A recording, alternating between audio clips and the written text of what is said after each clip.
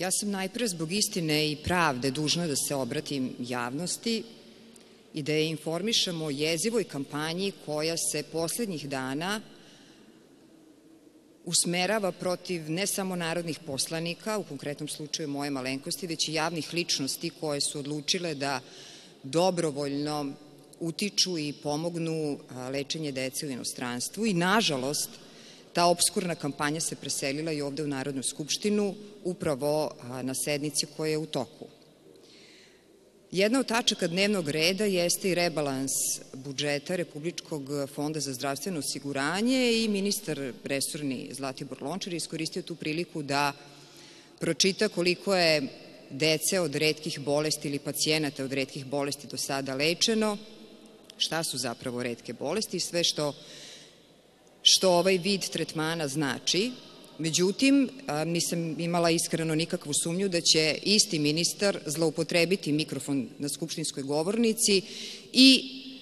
onaj osnovni cilj, sigurna sam zbog kojeg se juče toliko intenzivno obraćao javnosti, iskoristiti da dodatno usmeri kampanju protiv, u konkretnom slučaju, fondacije Podrži život i Sergeja Trifunovića, ali isto tako, kao što sam rekla, i narodnih poslanika koji godinama već na desetinama sednica traže da se promeni budžet, da se obezbede dodatna sredstva za lečenje najtežih pacijenata koje se ne mogu uspešno lečiti u Republici Srbiji.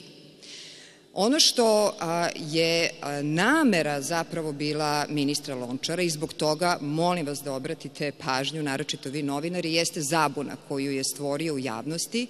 a to je da je lečenje redkih bolesti isto što i lečenje stanja i oboljenja koje se ne mogu uspešno lečiti u Republici Srbiji ili ono što mi kolokvijalno zovemo lečenje u inostranstvu. Dakle, i Fondacija Podrži život i Sergej Trifunović i druge javne ličnosti se upravo bore za to, za obezbeđivanje sredstava za lečenje u inostranstvu. Isto tako i moj zahtev da se izmeni zakon o igrama na sreću, koje već dve godine pokušavam da, da ubedim kolege iz poslaničke većine da se stavi na dnevni red, juče je ostao bez njihovog jednog glasa za. Naime, moj zahtev se odnosi na to da se dodatna sredstva od taksi koje se slivaju u budžet Republike Srbije, od kockarnica, kladionica, Narodne lutrije, poker aparata, preusmere za lečenje zapravo najtežih pacijenata u inostranstvu. Međutim, ovim nesrećnim manevrom ministra Lončara javnost je stekla utisak da je, kao što sam rekla, izjednačeno lečenje redkih bolesti i lečenje inostranstvu, što apsolutno nije isto, što u budžetu Republike Srbije predstavlja dve budžetske pozicije, dve ekonomske klasifikacije, pune se na potpuno drugačiji način i ta konfuzija koja se, koja se, koja se stvara takođe ima za cilj ili za misiju da degradira, da ponizi i evo od jutra smo videli da kriminalizuje neke od aktera i, i javnih ličnosti koji pokušavaju da pomognu deci. Moram da skrenem pažnju na to da je e, i ministar Lončar i sama vlada reagovala na, na slučaj četvorogodišnjeg dečaka koji je, kojeg je ispratila na kraju helikopterom u Španiju i nažalost tokom vikenda u subotu nas je zadesila ta tragična vest da je to lečenje bilo neuspešno. U malom mimohodu pre toga je Vlada objavila da će budžetska sredstva uplatiti upravo Fondaciji Podrži život. I kada posmatrate tu prvu seriju aktivnosti, možete zaključiti da, nažalost, život je pokazao drugačije, da je to lečenje bilo uspešno, ja sam sigurna da bi Sergej Trifunović i Fondacija Podrži život zajedno sa Vladom bila heroj. Istog dana kada je stigla tragična vest o neuspelom lečenju četvorogodišnjeg dečaka, Vlada je otpočela kampanju i protiv ove fondacije, ali i protiv svih drugih koji mimo Vlade, dakle mimo kontrole njihove bilo kog dinara pokušavaju nešto da urade. I stoga vas molim još jednom i kao javnost i kao novinare da obratite pažnju da se ne radi o istim stvarima. Dakle, redke bolesti i lečenje u inostranstvu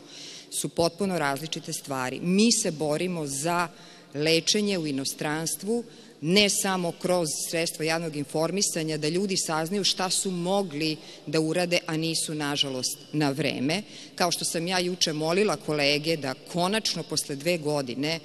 stisnu taj taster. Zamolila sam predsjednicu Narodne skupštine koja istovremeno, nećete verovati, predsjednica odbora za prava deteta, a deca jeli imaju i pravo na adekvatno lečenje i pravo na život, da prva učini iskorak i da glasa za. Naravno da nije reagovala, naravno da njene koleginice na koje sam takođe apelovala kao majke, bake, sestre, komšinice, drugarice, da svoj bunt protiv partijske naredbe u odnosu na život iskažu time što će bar ustati kada je glasanje u toku ili napustiti salu u krajnjem slučaju, naravno da su dalje sedele skrštenih ruku i nemih pogleda na sve ono što predstavlja ovu inicijativu. Ali ono što je nedopustivo je da mi i dalje svedočimo napadima ministra Lončara za nešto što nije na dnevnom redu za ljude koji ne mogu da se odbrane, a i oni koji mogu da kažu reč odbrane su naravno uskraćeni za to pravo. I stoga vas molim da detaljno pogledate budžete,